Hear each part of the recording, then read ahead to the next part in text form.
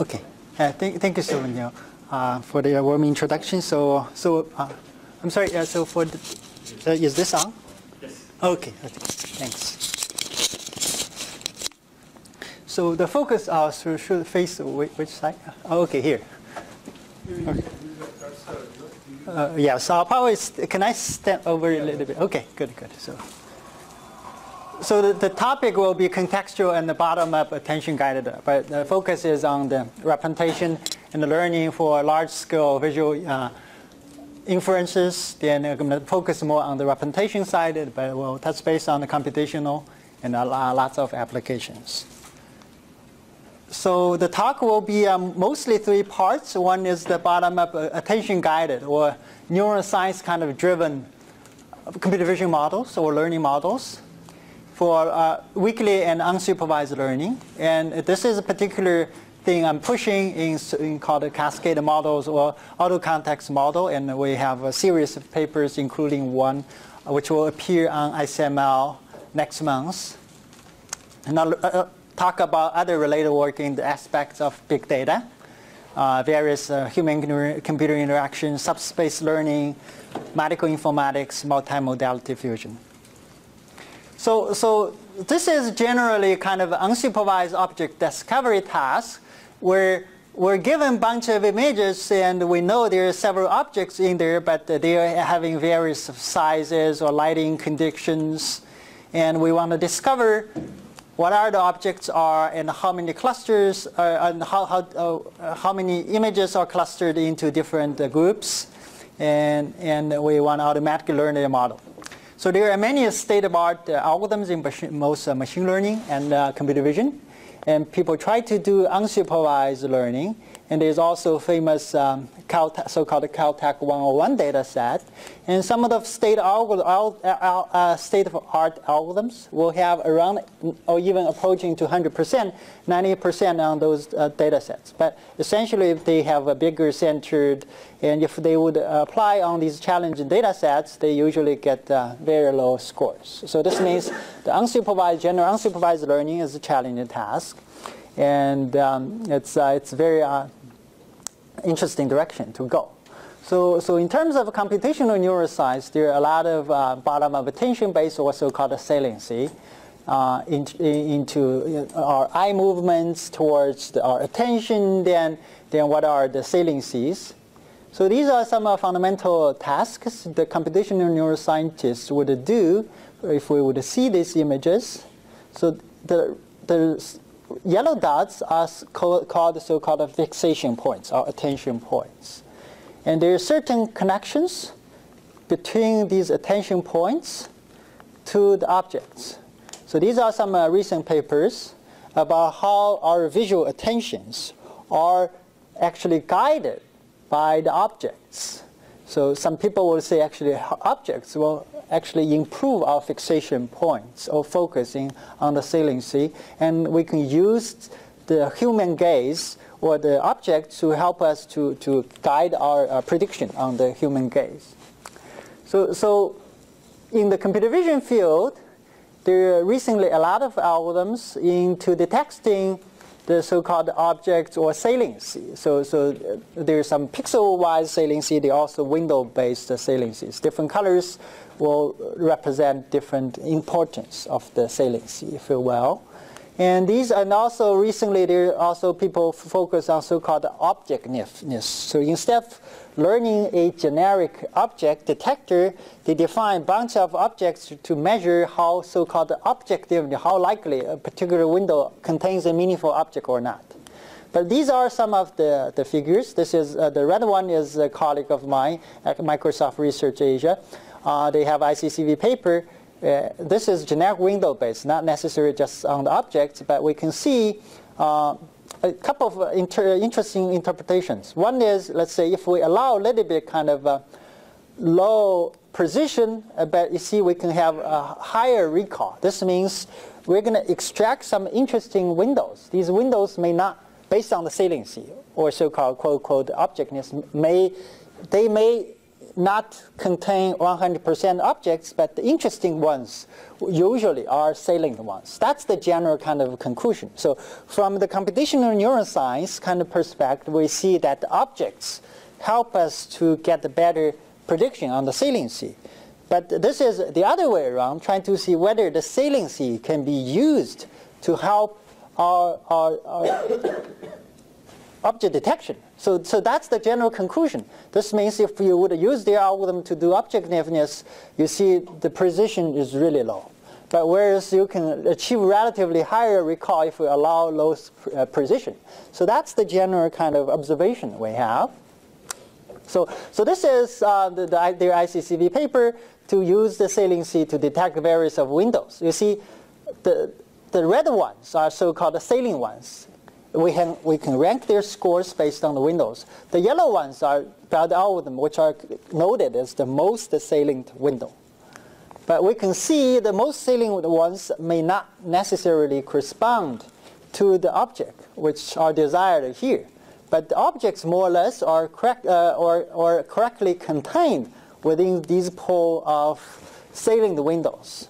So then all we, uh, so using their algorithm, we also extract some so-called least salient, those non-salient windows. These are so-called non-salient windows. So you see non-salient windows mostly don't contain the objects. So that's the general setup. So and also was uh, considered as a smart idea for us to do in our last year's CVPR paper was we use a generic saliency algorithm and to turn in unsupervised learning where we're giving a bunch of images, we're not told where the objects are, what objects we're looking after, and we're trying to automatically learn the model to detect them and to cluster them. So we use saliency to extract out the things in and build a so-called weakly supervised learning scenario. So the motivation is like this. So, so uh, for the rest of the talk, all of those papers I highlight as in the yellow are uh, papers from my group or, or uh, from uh, or with uh, collaborations from. Uh, so this is the idea. Suppose now we our goal is to find the faces and to learn the face model. So we can use the saliency to detect some so-called salient windows. And also we can use the saliency to detect some non-salient windows. So these will form our so-called positive back. Same thing here. And we create a different image patches. Uh, yeah, if you have any questions, you can stop me any moment. So, so the, then we create some positive back in which there are interesting ones included. But also there are negative backs, there, they may not, may not necessarily be interesting at all. Our job is based on the problem setting. We turn unsupervised learning problem into a supervised learning where we also identify what is the common pattern from these things. In, here, in this case, these are the faces. And then we extend the idea to explore larger amount of data, which I'll touch base later, and to learn what are the, to automatically discover these patterns and try to learn the meaningful objects or, or the fundamental representations. So this is more or less a, a multiple instance learning literature and we turn here, the particular thing we do is to we define a new multiple instance learning formulation. We turn an unsupervised learning into a weakly supervised learning. Also, some of the aspects I'll talk about will appear next month on ICML, uh, International Conference on Machine Learning. So, so, so we're also developing learning-based things. Uh, so on the uh, core learning side and also core, core computer vision side. So this is the general concept of multiple instance learning. So it's like if we're seeing these two, diff uh, three different keys, we're we're told each these are three professors at UCSD. Uh, they each one holds a key, a common key, but we we don't know which one it is. So our hope is based on the particular formulation, we can we want to see what is the common pattern. Here is the blue key, which all three of them share. So we want to automatically figure out what is the blue one which are shared by these people, and to learn a model on top of it.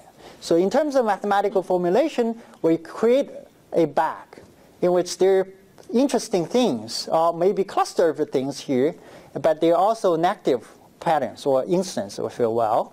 And, and, these, and also we know there are negative backs in which the, the interesting things are not included.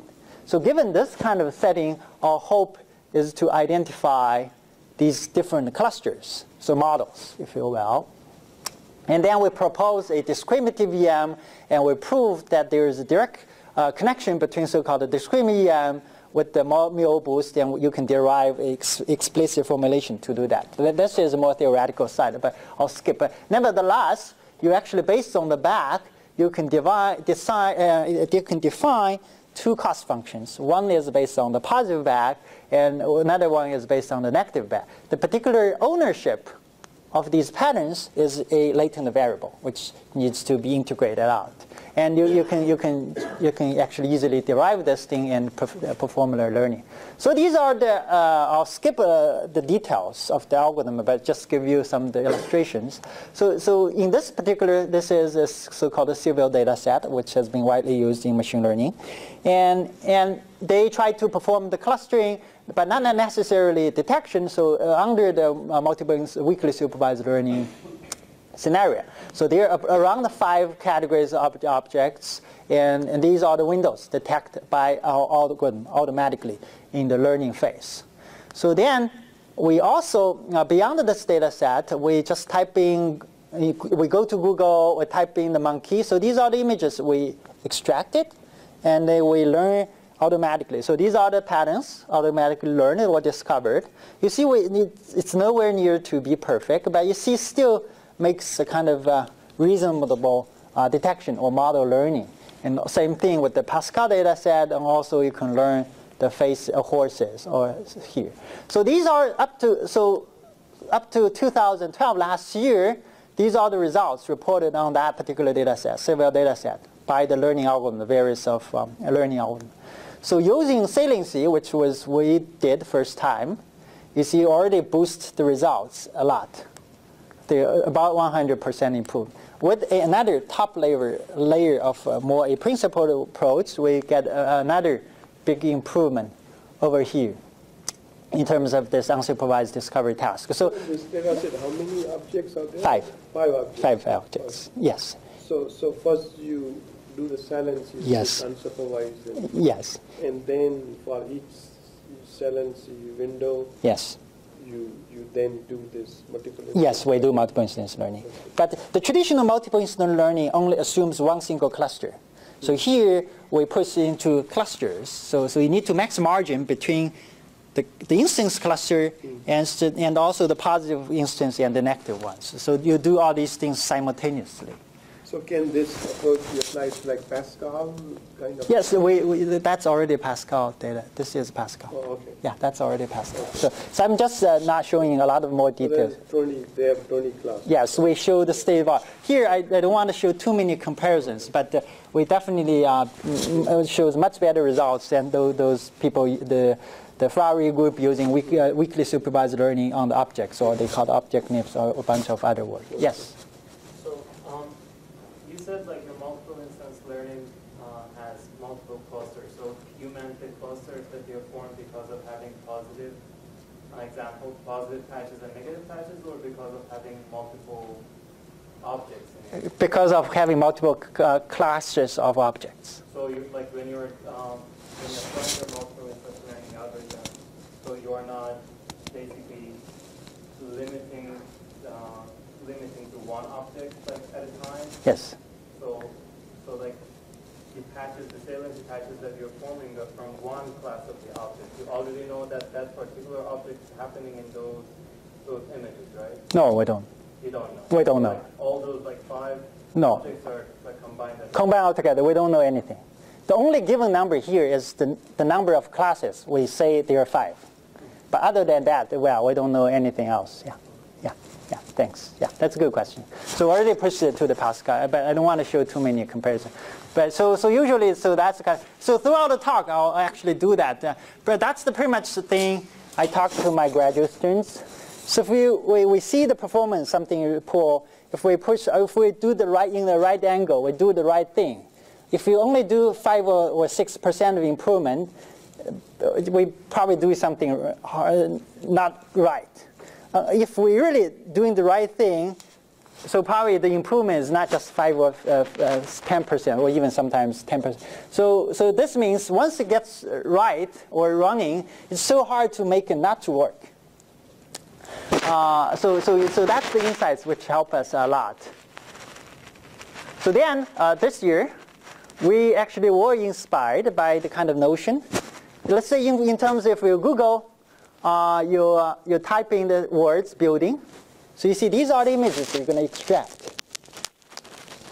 We see a lot of high relevance of the, the images to the, these words we're typing, and also the large variations here. And there's a large amount of data in Google, Bing, Flickr, we can utilize. So that's in the CVPR paper, which will appear next month, is to utilize this idea, but to explore large amount of data. For instance, you're typing horse, so these are the images you're, going to get. Oh, so I should apologize to, uh, to, to Microsoft folks because I mentioned too many Google names here, which I shouldn't. Right? So, but uh, nevertheless, so, so you see a typing face, or so in the Bing, same thing here. So, so the idea is here we define 700 words from uh, Wordpedia and crawled about half a million images from uh, these uh, search engines. And these images are first are having high relevance to our, the words we're typing, but also have a good quality. So in terms of if we would do, do object automatic discovery detection, it would be very hard because it's not well defined. But we turn the course around, try to learn a meaningful meta-relevant representation to these, uh, to these different words, trying to learn what is intrinsic to horse, building, all these things. So we define about 700 words uh, and, and acquire half a million images. So then we start to do so. So these are the images we, we crowd. Uh. You see the building, flower, birds, sky, water. So, so then we use, let's say, the building image as a positive images, and the rest of the images are negative ones, trying to automatically figure what are the intrinsic patterns to the buildings or the components. They have mixture model because if a building will have different components, so they may not necessarily uh, fall into the same cluster. So, so then we use pretty much uh, use this in a hierarchical way. So hierarchical way is pushed a little bit later, but the CVPR paper is more focused on the second layer. And then for each image, we create some positive bags. And then from the negative ones, we can create some negative bags. They apply similarly to the learning algorithm we had before to generate. So, so, so now this means what they were given is a noisy input. Based on the noisy input, we want to figure out what is the intrinsic patterns. So these are the saliency windows. And also we, not only based on the saliencies, we also use some uh, dense samples from the images as our, our instances.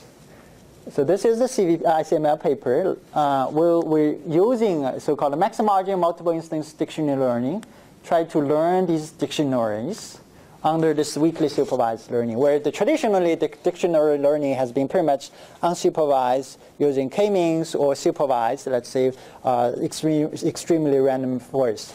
So here, each quote unquote middle level representation is a classifier. You can use SVM, whatever classifier on multiple features, and these form your dictionary, but uh, in a weakly supervised learning way because we don't, we're not giving any annotations. So you learn the dictionary separate for each class? Yes. And each class usually contains 7 to 10 classifiers, SVM. So in, the, in total, for those half a million images, we learn about 10,000, these so-called uh, visual concepts we call. So these are the, the patches we learned, and uh, eventually they're going to put it into the classifier because these are the important. So, so in, for instance, these are the buildings and the flowers. So once you have the classifier, you can have some firing on the images.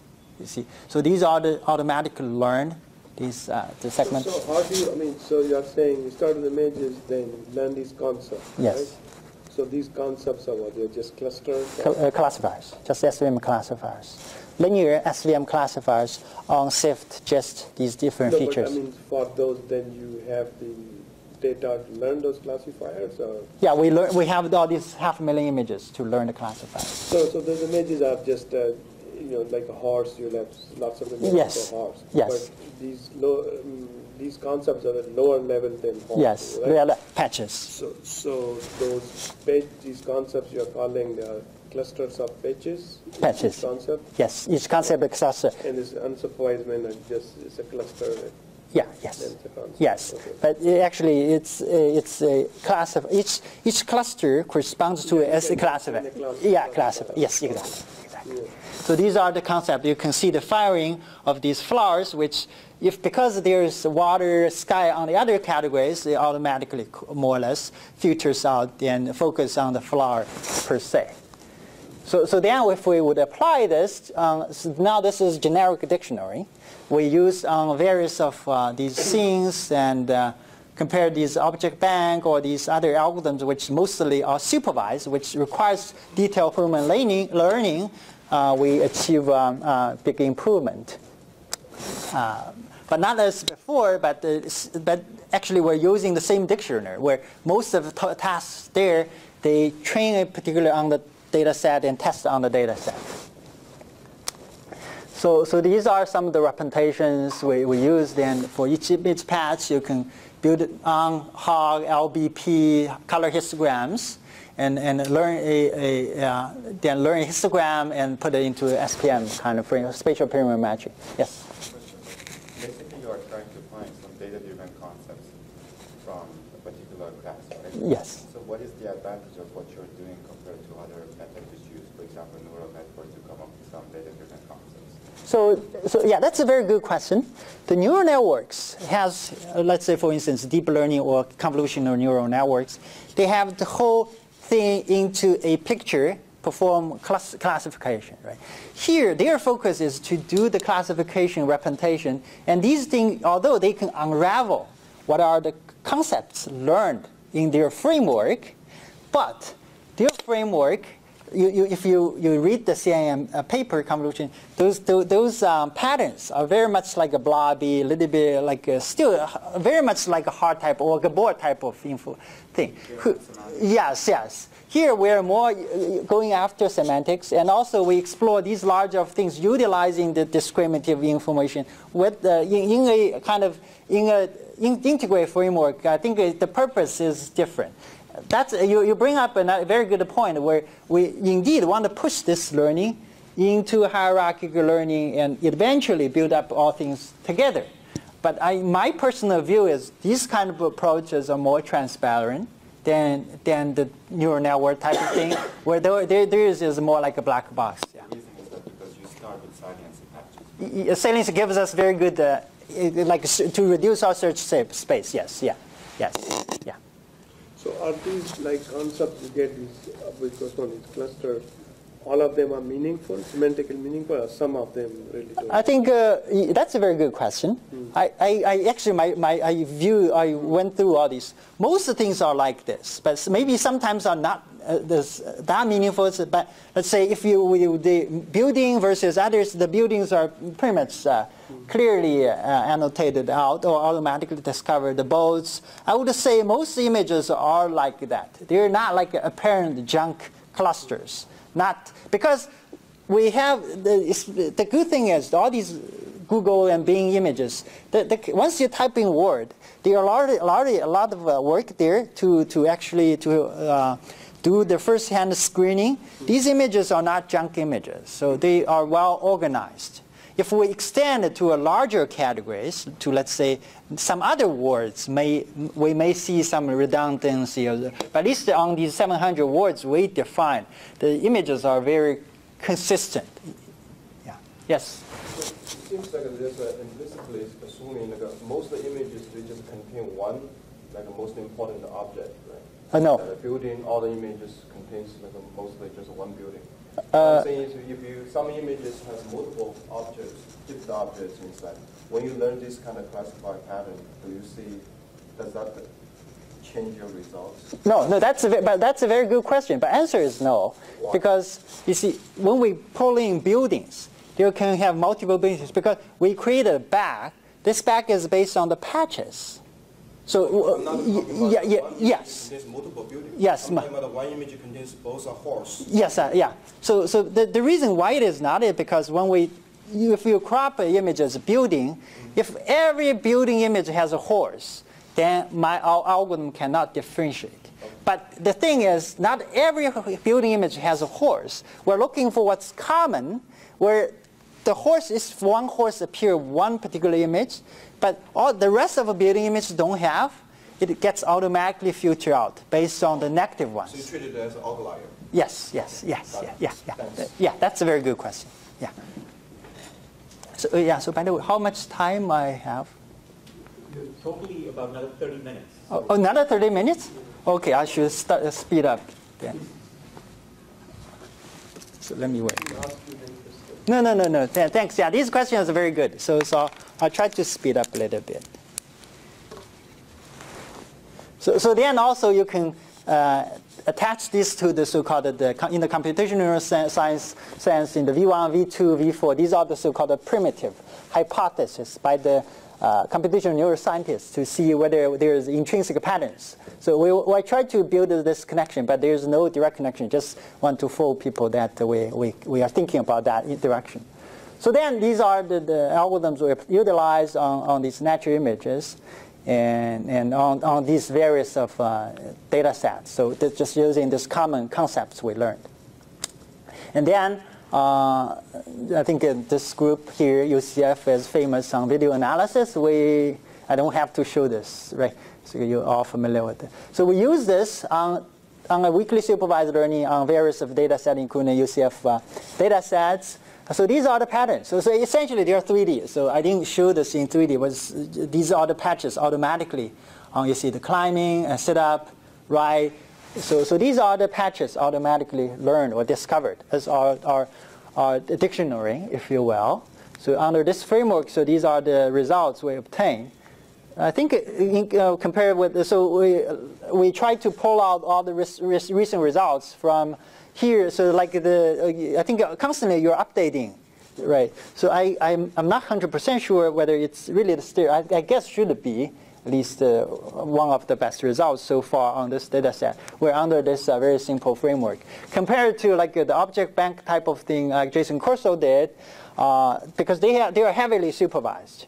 And we don't need any supervision just using that data set to, to learn these intrinsic patterns. The results seem to be much better than theirs. And then, uh, so, so that was actually more a, uh, uh, we turn a problem, unsupervised learning into a, uh, into a weakly supervised learning. So what about the space? So now suppose if we don't have discrete model, we use generative model, we have a so-called subspace.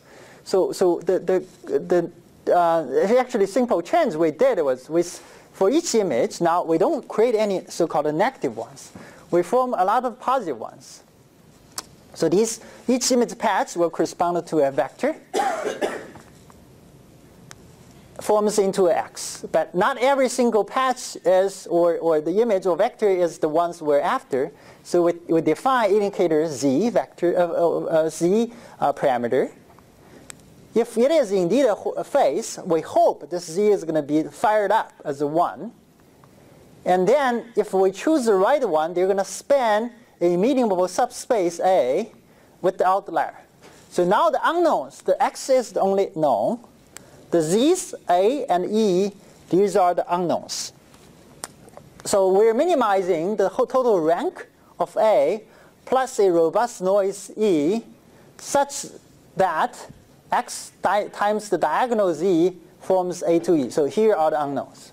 So then this is non-convex. We relax this into a convex optimization. So it turns the rank of matrix A into a nuclear norm and, and zero norm into L1 norm. And further relax the Z function such that this now is a convex optimization with using exact uh, augmented Lagrange multiplier to do this. So, so these are the results on the face detection. And if you would use a naive uh, EM type of thing, we compare also with the previous algorithm. Uh, it, sees, it shows much rob- robustness towards the, the tolerance of the ratio of uh, sparse error. So, so, so, so uh, the, the conclusion from this work, which we, we submitted to neurocomputation, is, uh, is under revision now, is if the patterns are indeed under it's sparse or, or into a subspace sparse, it's uh, better to formulate into a convex optimization to do this.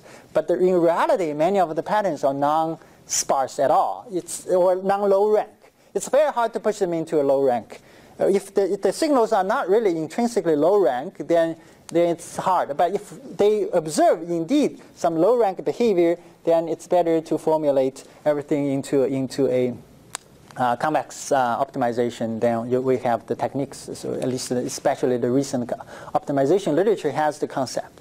So that's the first kind of work, and uh, we, we try to utilize the attention or saliency and turn unsupervised into uh, weakly supervised learning problem, and also we pu- push for large-scale images. Then, uh, so another work uh, recently pushed is so-called structure prediction, where we see images, signals, and also the documents, and they all come as in a vector, and which falls into a higher dimensional space or social network, connect depth data, or brain images. They all come as in a vector in a higher dimensional manifold or, or space, where our prediction is on a particular pixel or patch or variable, and, but we have to understand everything in a whole, oh, in, in a whole. And these are some structure, standard structure prediction literature, hidden Markov model, uh, support, structure uh, support vector machine, CRF, grammar, and also a lot of uh, inference algorithms, belief propagation to do the inference. So then one thing we exercised was uh, the so-called context, which uh, uh, I later built a so-called auto-context algorithm on. This is a particular sentence, uh, so like I'm ill. If we just look at this, we, we know it actually represents a lot of meanings. Where if you have the context, this is the suicide node uh, we're, we're going to talk about later. So, so there are a lot of kind of, um, uh, these people already committed suicide. Uh, so when you, he says year, it's not physical year, it's, it's just mentally year. So there are a lot of meanings. Same thing here, so anybody guess what it is? So people will say often say it's uh, it's a fingerprint at the first glance, right? So when the contexts are reviewed, then we gradually understand because all the prediction of either you call the patches or pixels are based on whole vector. Same thing here. So, so it says how important the contexts are. This is a, a symbolic view of uh, Brisbane River in Australia. So, so the, the contextual model in the computational uh, neuroscience literature also is very rich. There li rich literature over there, and also in the computer vision side, there are a lot of uh, context models. So, so in general, we people formulate the problem into a Bayesian framework where the x's are the observations, y's are the predictions, can turn into a likelihood and the prior function. And overall, we want to do the estimation. But many times this is non-convex, so there are multiple local optimals uh, and it's hard to compute. So, so we want to hear, but this particular uh, work was trying to combine the, the modeling together with the computing part, trying to, to have a nice uh, integration of them.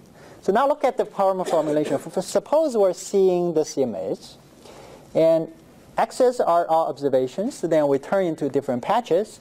The Y's are our labels for each patch. So that's what in general in machine learning called a structural prediction. We see a vector of input, a structural input, and we have a structure of output. But in natural, they naturally they form into some kind of um, uh, network and high dimensional uh, kind of connections. And the traditional way of doing this is MRF and CRFs. But you see, the pieces, all the space, the, the corresponding relationship, uh, the relation between sky clouds, you see a house with the cars, all these things all together. And overall, uh, you need to uh, do a lot of integration and inference over here. So what we did, or actually well, 2008, so what I did was trying to, to look at this from a different angle. So these are the problems with the existing models. So this is our uh, to, uh, 2008, uh, the auto context algorithm I did. So suppose now you are giving these input images x. These are the input y, output y. So each for each pixel you would label each point as uh, foreground or background. So ideally, you want to learn a marginal distribution on the x with each individual pixel, which requires to integrate out minus sign the rest of our pixels altogether to get this. So this is seemingly a more uh, difficult problem. Where in a genetic classification approach, if it's supervised, you can create a lot of patches. In case it's supervised, you know all these are the positives, right? You can create a lot of negatives, and you can try to define a classifier which is on high dimensional space to do this. But it's difficult because for some patches you see it's easy, but for these patches, just no way to tell whether it's on a horse or, or on a grass or the background. So we need the shape, the context information. But the difficulty is that the generic definition of these things will lead to very high, compl high complexity algorithm. So, so what we did in two, uh, 2008 was actually to learn just generic patch-based classification and essentially see these are the responses from the classification, which is nowhere near to be uh, perfect. But we actually, for each, each pixel, we should allow many arrays. We use the importance or probabilities on these, on these sides, and together with the original features, we learn another layer. These are the selected features. So it tries to learn based on the neighboring ones where to suppress the probabilities here. Let's enhance the, the missing ones and to, to uh, improve the results. So if you repeat the same thing, but you will select different features at different sites, then you see the results are get much enhanced. Like, like in the multi-class case where if we only see just this uh, carpet, the texture is not clear, so it's hard for us to differentiate from the carpet to the floor. But if we know the doors, which are easier to understand, this inference will help us to, uh, to guide us the better inference. And the problem with the traditional MRF or CRF is because the, if you define a shape or context, it tangle into each other into a very difficult formulation. Where here, it's a ca cascade classifiers, uh, and then automatically learns the things, which has similarity to the, to the deep learning, all these things. But uh, luckily, we start almost uh, very much around the same time on these uh, cascade models. So you, you, we, you learn features, and the bottom-up features, just raw features, where you can go, go to 10,000, 20,000, and the context about 10,000 context features, and, and then automatically select a subset of them. And these are some, uh, some just generic uh, input features, SIFT, LBP, color histograms. So, so actually what we can do, is, even in the first layer, we can put it into a uniform distribution if we don't know anything in natural images. So what I'm saying is, starting from the classifier 1, we share the identical uh, procedure. We don't need to differentiate between classifier 1 and classifier 2. We share the same procedure. Uh, procedure. And in natural images, it's kind of not informative, in, but in, in medical images, it's very informative because we can utilize so-called probabilistic atlas. Because we roughly know in our body the heart, the lung, where they are. We can utilize this thing as our prior information because uh, let's say if we use the full body CT, if my heart goes to the right side, then I know probably either I'm an alien or I've uh, messed up with my wife, right? She works in open heart surgery room, so. So unless that thing happens, otherwise the, the organs are more or less there. So these are, are the priors we can utilize, but we automatically let the learning to, to figure this thing out. So these are the contexts we, we obtain. So you see, so if we look at the boat, it looks for boat itself and also for water, road, you see trees, faces, body, sheep, and building. So, so these are the things automatically learned, but in a very kind of large pool of kind of candidates automatically rather than the manually defined. numbers? Is it just a window? It is a windows and the probabilities, yes, windows, yeah. On the responses. So because you have uh, multiple uh, classes of things to look for. So then you can, uh, you can prove the convergence of skip. So in the end, the compared to the MRF, by the way, so in the MRF usually looks for a small neighborhood because you have to integrate all the interactions out. We're here in auto context, we, we can afford to look from uh, both uh, local and the long range context, and then you have stacked them of them all together to form your thing. And you don't have to do belief propagation. In a way, you can think of it's learning belief propagation in a closed form solution, um, which also has some analogy to uh, um, Torralba and Bill Freeman. They have what they call the, the 2006. They they have a, uh, yes, but in a way there is some similarity. But this is I think more more general than than that. Yes, yeah, thanks. So then these are the algorithms you see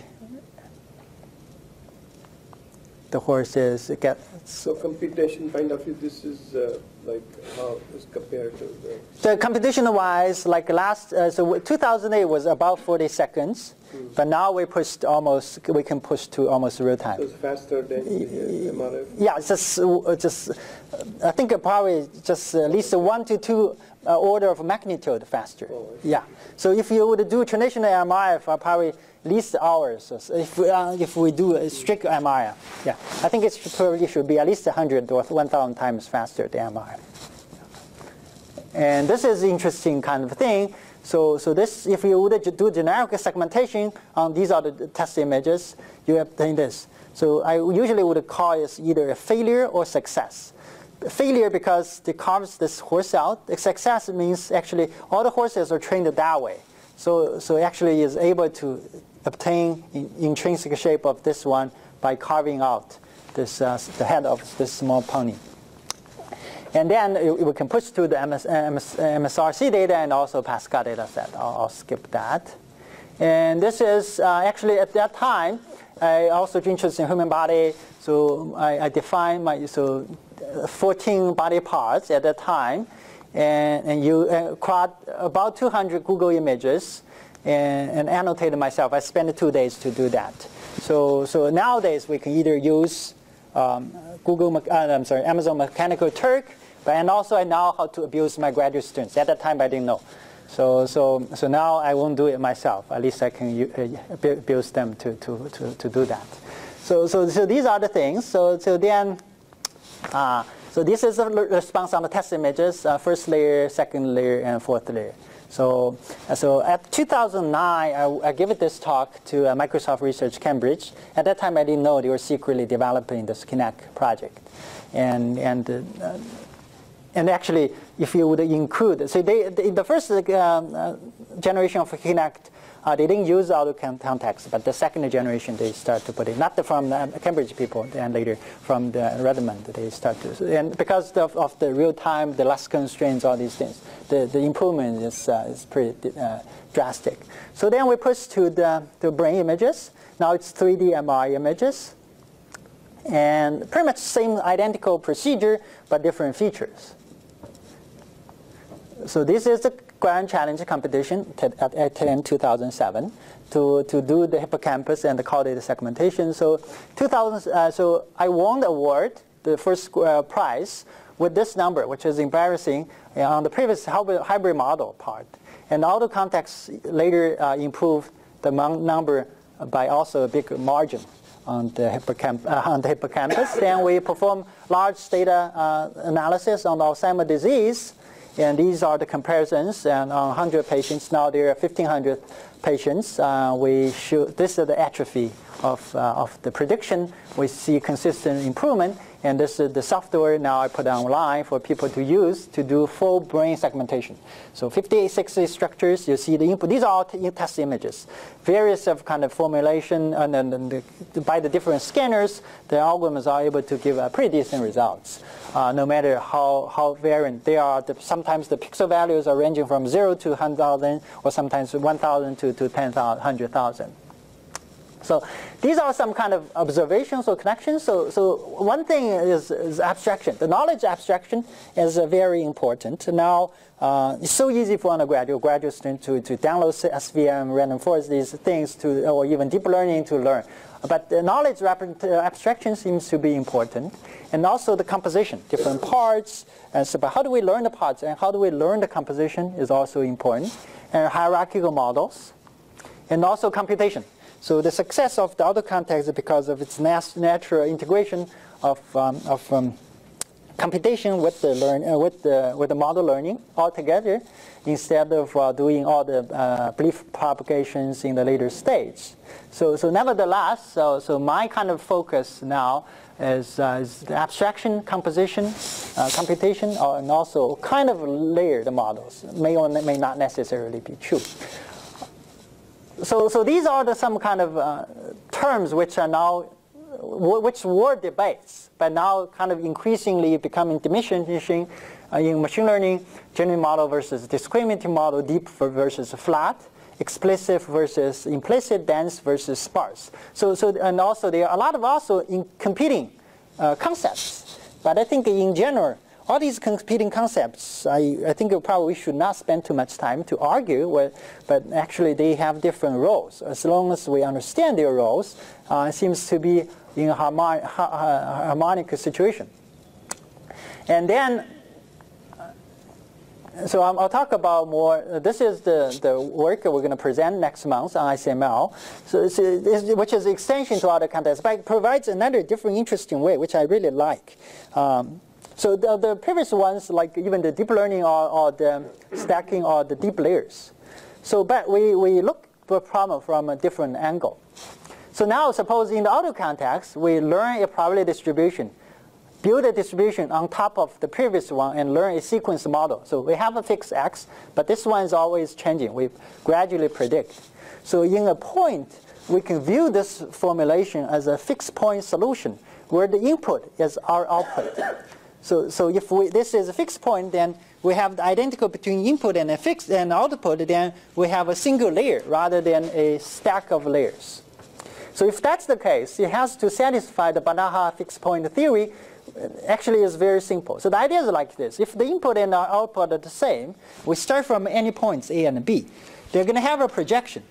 If their distance are smaller, then if we project them back, their distance becomes even smaller.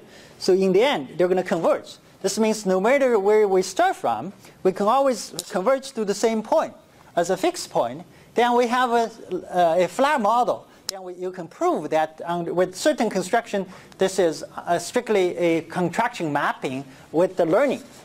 So, so if that's the case, then you can put some conditions, then change to change a deep layer into a flat layer by utilizing the, still utilizing the context. So this is a comparison with the structure SVM, or the maximum margin, Markov network, all these things. On this particular uh, OCR data set, this is a standard OCR data set, we achieve a significant improvement over there. These are the error rates. Let's see, we get 10, tenth of the error. Uh, versus the structure SVM or these existing algorithms, where the fixed point model compared to the auto context just 100 times faster because we only learn a single model. Whereas before we have to learn sequential model, we have to predict the, the classifiers in the previous round. So that's, I think, uh, I like about uh, in terms of the generic formulation. So, so we provide a new way of looking at the layered models, not necessarily deep, but achieves uh, similar results and uh, give a significant uh, improvement under the under the uh, performance uh, speed. And also two years ago, we uh, so our group actually attended so-called uh, I2B2 competition for two tasks. One is the suicide notes analysis for the sentiment. And another one is, um, is this co-reference to the um, medical document summary, discharge summary. So because of the ambiguity, so, so we won the first and second prize. So they, they, I think internationally there are about 50 groups attending, uh, 20 or so from US. Uh, and the one actually, the one reason of reason we won the award is because of also we explore larger amount of internet data. We extract 20 million documents from internet, from various wiki or other sources to learn our dictionary to perform um, the prediction. And that's an, this is another project I led at Microsoft, which so for the uh, Kinect uh, gesture recognition. So this is the input for the Kinect depth data. we perform the background. So this is standard uh, pipeline now. They, they perform the background removal and try to le- detect the, the joints and put them into skeleton. Then there's a later skeleton correction stage. So then we utilize the, the, the inhomogeneous patterns of, um, of these things and, and, and apply a, a, and also this is for tagging to, to, give assign a particular value to the gesture. Uh, we utilize the divide and conquer, random partition, subspace learning, ensemble learning all together. And, and, and, because it's, it's a product, we have to, so we're given the budget to finish this thing within uh, two milli, uh, 0.2 milliseconds. So it has to be very fast. Where if you use the standard ones, it's, it's not going to be that fast. So this is the pipeline. Uh, I'll skip. So these are the results. So the ground truths are the blue ones. The red ones are the input. Oh, sorry. Yeah. So me, yeah. Uh, so I thought, uh, sorry. Uh, I didn't. That's okay. Yeah. Oh, okay. So anyway, it corrects the results, and this was shipped into uh, into the Kinect project uh, last February. So particularly for golfing, soccer ball, these things. So, but if you happen to, to buy the Kinect and but still got frustrated with, with the golf, this gaming, don't blame me, blame Microsoft. So, so you can send email to them, not to me. And also this uh, this month uh, we're still leading. Um, I'm still uh, doing a confidential project at Microsoft to do the gesture recognition. That part is has been shipped into the new generation so as well. this uh, the skeleton, all this you did in depth image, or you used RGB? No, no, just depth image. Just depth, yes. And also into the large uh, kind of data aspects, so we, we collaborate with the professor at Zhejiang University on the various of cancer images of uh, these histopathology images. And same thing, these histopathology images are extremely large. Each single one is about terabyte data. Uh, it's, the size is 300,000 by 300,000. So it's extremely large images. And the, pathologists will give us the notation that one particular image, these are all healthy ones, may or may not contain the cancer. So, but detailed, detailed annotations is so hard for them. So then we utilize these uh, multiple instance learning, try to automatically discover the cancers and do the segmentation, image level classification, and the patch clustering all together. So, the, so these are the size of images. So here, uh, we have the cancer images and the non-cancer images. Uh, same thing before, we create a positive and a negative bags and try to learn what are the different stages of the cancer patterns. So these are the automatically learned, the clusters of cancers. So these are the comparisons to, these are the human labeled by, we asked three of them to carefully label a few images for us to do the, to do the benchmarking. So these are the results by our algorithm. So this was last year's CVPR paper and also a MICCAI oral paper last year. And then we also do the manifold learning where we do, uh, so I'll probably. So we do a manifold learning to do the unsupervised uh, metric um, uh, learning and manifold learning. So the idea is to say if you would measure the distance between this horse and the dog will be very small versus this horse and that horse. But if we have in, independent, uh, in, in, between data, actually, if we walk, compute a meaningful manifold distance, you're gonna, we're going to achieve a much better result. And here, uh, I think people also use diffusion map to do clustering, where we, uh, we also we develop a new learning algorithm. Uh, it's called SSO and self-diffusion, which we show just significant improvement over diffusion map. And uh, so, so we applied onto various of algorithms. And uh, these are the, for, and also a push for the classification. We're on this Alzheimer's disease. We start from the bottom uh, input, the baseline from 39% and improve to 91%. So it's like improved 200 times, uh, 200 times, uh, relatively uh, 200 uh, percent. And then uh, we, uh, we collaborate with one researchers at University of Toronto in hospital to push um, um, for multimodality disease understanding or, or, classification where we have the, we have the genetic data we also have the image data. We also have the, uh, the documented data. So we do multi-modality fusion, and we see uh, some uh, improvement. That was uh, uh, with submission to a nature method, which I see will most likely be rejected. But for students, uh, for graduate students, I think it's a good exercise. Uh, but I think uh, people in general, like we already sub- sub- presented in the NIPS uh, various workshops, people in general like this uh, direction. Um, so, so the opportunities, I think uh, the, the, diffusion and the intrinsic manifold actually is very helpful if they really span a manifold diffusion.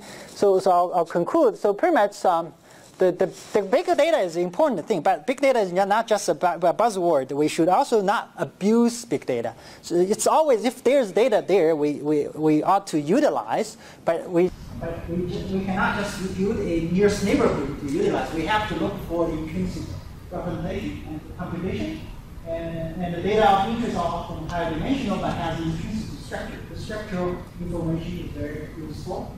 And the uh, abstraction, the composition, and the computation, and the computation, the local computation, always very helpful. I think overall, this is a, a very exciting moment to work on computer vision and machine learning, and also in computing per se, because of cloud computing and, and fundamental statistical models, and also a lot of other resources we have.